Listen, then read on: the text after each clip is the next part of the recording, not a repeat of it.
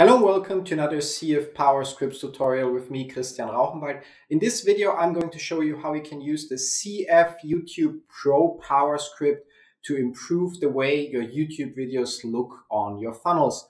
Now, as always, in order to get started, you have to log into your CF PowerScripts account and there, once you're on the dashboard, navigate to the PowerScript section and pick the funnel where you want to add the PowerScript to. I'm to pick our PowerScripts demo funnel. And there I'm also to pick a specific funnel step because unless you have YouTube videos on all your funnel steps and you want to add the script to all of them, it makes the most sense to add it to the specific funnel step where you have the YouTube videos embedded. I'm going to click on that funnel step and once here you will either see one or two funnel pages depending on if you're running a split test. Now before we add the actual PowerScript I'm going to click on the icon next to the page name and I'm going to click on open in page editor to open ClickFunnels page editor. If you have a split test running you will need to do this for both pages. Now on this funnel step as you can see we have a regular YouTube video embedded here on top.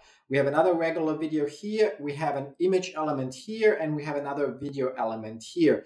Now, when we preview the funnel, you can see how it looks without the CF YouTube Pro PowerScript. It just has the regular YouTube video here, and here, and here. And here we just have an image that doesn't do anything. Now, when we go back to the editor, I'm going to quickly show you how you can use all the functions of the CF YouTube Pro PowerScript in your funnels hosted at ClickFunnels. And we're going to start with the placeholder image element. For that, you would not add a video element to your funnel, but you actually pick an image element. Now, for that image element, when you click on it, you go to your image gallery and you pick the placeholder image that you want to use, or you simply upload it here and then select it down here. And once that's done, still within the settings of that image element, you go down to the hashtag icon where it says get CSS info and you click on it. Now, all you need to do is you need to change the title to CFPS minus YT minus Pro minus the YouTube video ID. As an alternative, you can also change it to CFPS minus YT minus Pro minus PB for play button minus the video ID. But for now, we're to save it without the play button and I'm to show you the difference later. Now, the moment we do that, we basically do the same like with our CF lazy video power script. We turn that image element into a placeholder where as soon as people click on it, it will play the YouTube video instead. However, there's one major difference. Unlike the regular CF lazy video power script, our CF YouTube Pro power script basically removes the YouTube interface as good as possible and also the recommended videos at the end,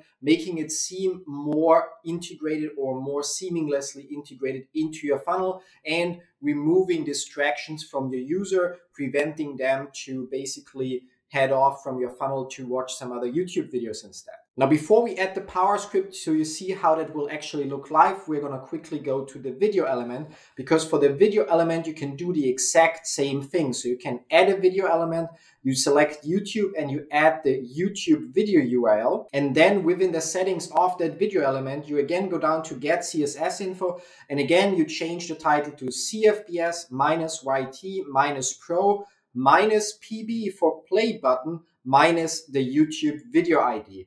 Now here you always want to use the minus PB version, although it works without it as well, because the video element will use the YouTube thumbnail image, so the image element that you uploaded at YouTube for the video as a placeholder. And the YouTube thumbnail usually doesn't have a play button on it. So by using the minus PB for play button version instead of the regular CFPS minus YT minus Pro title tag, we basically add a, an artificial play button on top of it so users know that they can click on it and play it. But that's not everything. The CF YouTube Pro PowerScript also allows you to show or hide elements, rows, or sections once the YouTube video is finished. So only when people watch the entire YouTube video will certain elements on the page appear or disappear. And in order to do that, we're going to go down to the third video element. And once we click on it, it works the same way edit the video URL. And it also works the same if you're using the image placeholder element.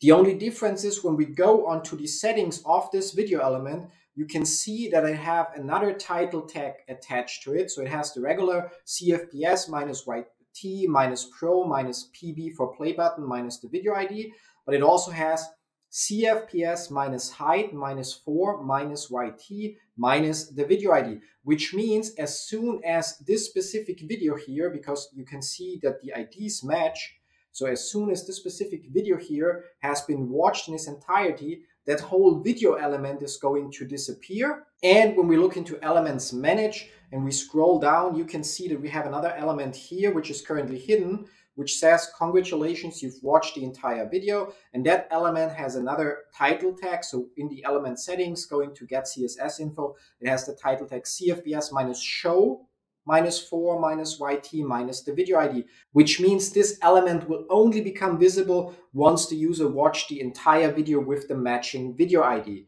Now I'm going to hide that element again so we can continue here. And you can use those title tags, so the CFPS minus show for and CFPS minus hide for, for every element on your page, also for entire rows and also for entire sections, so the green areas within your page editor, to show or hide content only when people watch the entire video. Now, the only thing that's left to do is to go back to CF PowerScripts, close the pop-up by either clicking on the X or somewhere else on the page, click on Add New, and look for the YouTube Pro Power Script. Click on it, click on Add Script, and that's pretty much it. Now, when we click on the icon here next to the page name and we click on Open Live Funnel Step, we can see that the first video loads as it usually would because we didn't change anything with this video element.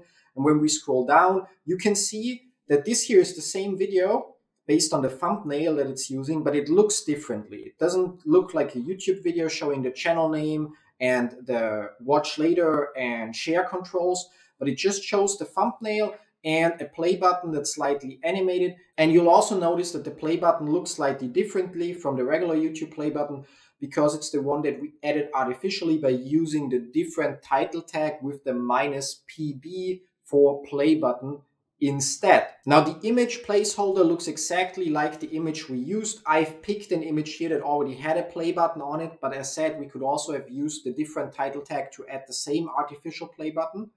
Now, as soon as we click on this image element here, you can see that the YouTube video starts playing. And in the beginning, we briefly see the controls, but they disappear. And you can also see when I hover the video with the mouse, the controls do not reappear. And every time I click on the video to pause it, it basically jumps back to the initial placeholder image while the video is paused. And when I click on it again, it continues the video. So we are using certain techniques here and the official YouTube JavaScript API to overlay an element on top of the video so the actual YouTube video doesn't recognize when we enter the mouse and therefore the controls are not shown again after they are faded out initially. Now the same works here where we are using the video element instead. When we click on play, it starts the YouTube video. We briefly see the controls for a couple of seconds, then they disappear. And then even if I hover the video, they don't show up again. And again, when I pause the video by clicking on it, it jumps back to the thumbnail. And once I click play again, it continues where we left off. Now, last but not least, if we scroll down to this short video and click play, it's a 10 second animation of a movie countdown. And we will see once the 10 seconds run out, that it will hide the video and it will show the congratulations text as you can see right now.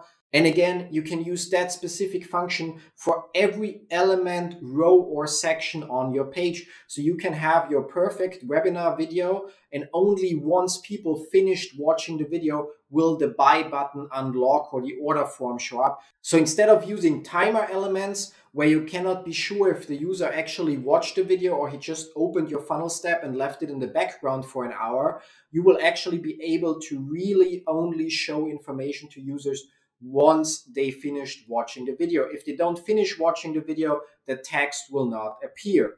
That's it. That's how easy you can use the CF YouTube Pro PowerScript in your funnels to basically improve the way your YouTube videos look and feel and behave on your funnels hosted at ClickFunnels. And also when you're using the image placeholder element instead of the regular video element, You'll also gain a performance benefit similar to the one from our CF Lazy video script because it will initially only load the placeholder image that you're using and only then load the video in the background, which means your pages will load slightly faster than if you're using regular image elements. And if you're using GIF images, so animated images that may have some, I don't know, like some arrows floating around and some click here to play text, you can actually increase the number of people that click to watch your videos because there will be some movement that catches people attention and incentivizes them to click on the play button.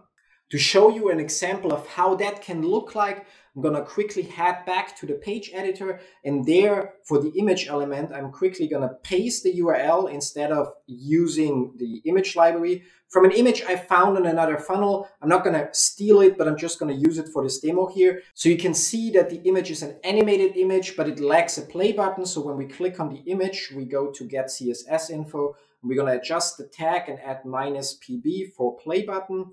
And we're going to save that page and we're going to our funnel preview. And when we scroll down, you can see that it uses the animated image and it overlays the artificial play button that comes with the CF YouTube Pro Power script.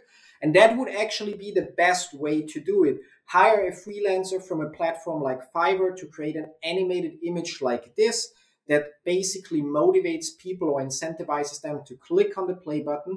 And you will have more people watching your videos while at the same time also having a slight performance advantage because the videos are lazy loaded and therefore your loading times will be a little bit better than with the regular YouTube video elements. Now that's it. That's all there is to the CF YouTube Pro Power Script. As always, if you have any questions whatsoever, don't forget to check out our FAQ section. And if you cannot find the answer there, either create a post within our Facebook community, or if you are a member of our VIP plan, use the live chat within Slack to reach out to us, or simply use our contact form to create a new ticket. And we're more than happy to help you out.